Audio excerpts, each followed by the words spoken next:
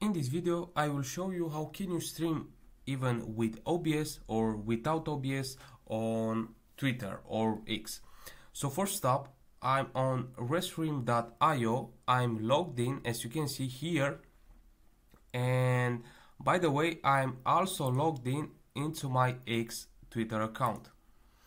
So basically here you just need to go on add destination and what we need to do right now is to uh, link our restream with X.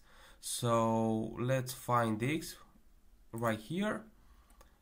Connect X. Authorize app. As you can see, it's done. Let's wait a little bit. Okay, just uh, close it for this moment. And right now, just go here to the stream with studio let's wait a little bit. Allow mic cam access. Allow I will uh, put my finger on my cam because I don't want to be on camera. Let's uh, put a name here.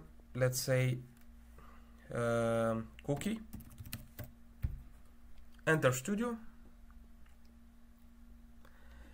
And here as you can see we have a lot of options. We can make Q&A videos.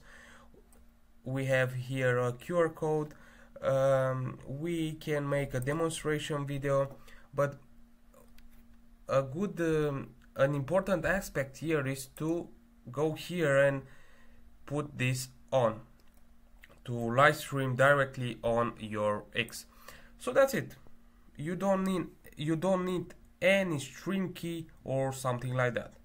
Hope that this video will help you guys and we will see in the next videos.